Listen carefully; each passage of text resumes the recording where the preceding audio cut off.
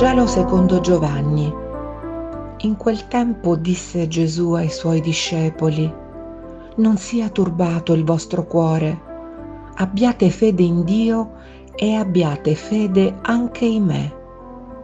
Nella casa del Padre mio vi sono molte dimore, se no vi avrei mai detto vado a prepararvi un posto?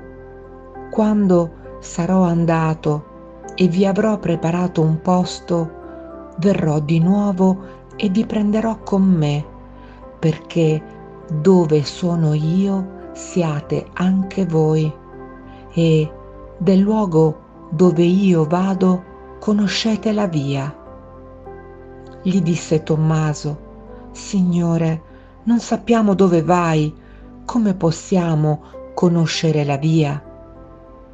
Gli disse Gesù, io sono la via, la verità e la vita.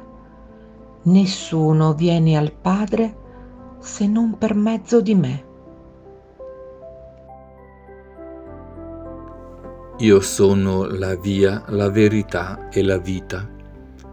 I discepoli di Gesù non riescono a capire ed accettare il fatto che il loro maestro debba morire e lasciarli soli e sono turbati, tristi e sconsolati. Contrastano le affermazioni di Gesù e gli fanno domande sul come e perché di tutto questo. Gesù li rassicura sul significato di quello che egli è venuto a compiere secondo la volontà del Padre.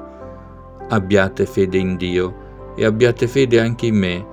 Vado a prepararvi un posto presso il Padre mio. È importante per noi credere alle sue parole. Io sono la via, la verità e la vita.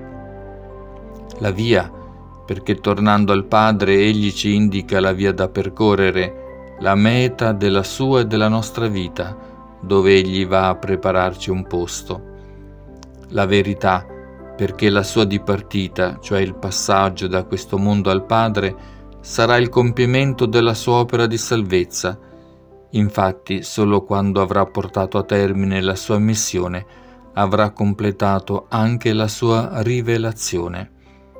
La vita, perché dopo che avrà offerto la sua vita sulla croce e ritornerà da loro, essi potranno assaporare la vera vita già su questa terra e poi completamente in cielo. È questo che Gesù ha promesso ai suoi apostoli e anche a noi che lo accogliamo come il Signore crocifisso, risorto e vivente.